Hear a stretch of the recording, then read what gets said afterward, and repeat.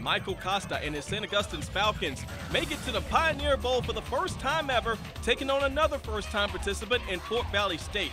And the Falcons would fly early. Chris Broomfield's pass was deflected and picked off by Joseph Reed, and St. Aug's is in business. Fort Valley held him to a field goal attempt. The snap goes awry. It's picked up by Courtney Daniel. 67 yards later, he's in the zone. Touchdown, Fort Valley State.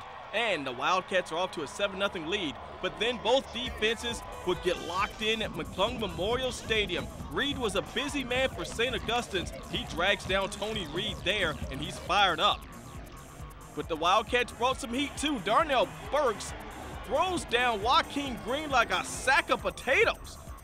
And then more defense from St. Aug's. Broomfield's attempt to connect with Tony Reed is ruled a lateral. It's picked up by Anthony Harris, and once again, St. Aug's has a chance to score. They didn't score that time, but they'd have reason to smile just before halftime when Teddy Baycoat hits Jonay Harris for the touchdown. It's 7 6. More special teams troubles, however, on the PAT. The Wildcats block the kick.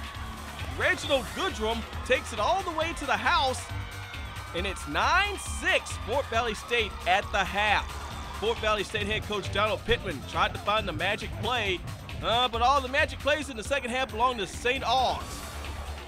That's Green finding Jermaine Jones, and he's off to the races 73 yards for the touchdown. St. Aug's is in control now. It's 12 9. Then in the fourth quarter, Baycoat and Harris hook up again. Harris was the offensive player of the game and the most valuable player. Two touchdowns on the day. Yeah, the Falcons are in the house, and it's just a matter now of the Gatorade toss with Coach Costa.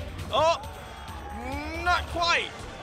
And the coach is celebrating, so they grab him again. Oh, well, a little bit better. St. Aug's completes its best season in almost 80 years with the 29 win. I'm Sam Smith inside the game.